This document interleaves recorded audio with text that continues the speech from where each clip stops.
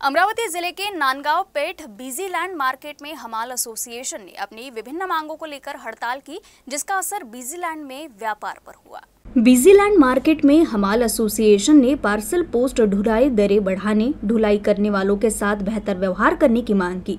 नांदगांव के हमाल संगठन की ओर से बिजीलैंड प्रबंधन ने डाक आने पर तुरंत डिलीवरी करने सहित विभिन्न मांगे की गई है। हमाल संगठन की ओर से चेतावनी दी गई कि अगर मांगे नहीं मानी गई तो अनिश्चितकालीन हड़ताल शुरू की जाएगी। एक दिवसीय हड़ताल में बड़ी संख्या में हमाल वर्ग शामिल हुआ।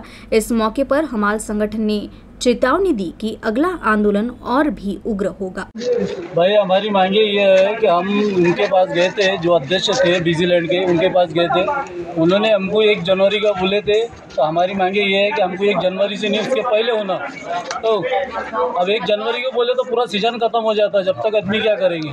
सीज़न खत्म होने के बाद में कोई भाव बढ़ाता नहीं। हमारी मांगे ये है कि हमको, भाई, हमारा पार्सल जो है बीस रुपये है तो हमारा चालीस रुपये पार्सल होना हमको।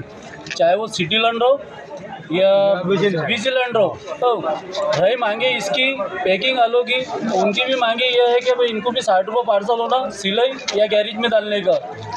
तमाम मजदूरों की यही चाहिए मांगे है कि भाई हमारी जल्द से जल्द ये मांगे पूरी कराए नहीं तो फिर हम हमारा जो स्ट्राइक चालू है ये हमेशा के लिए चालू रहेगा जब तक हमारी मांगे पूरी नहीं होंगी।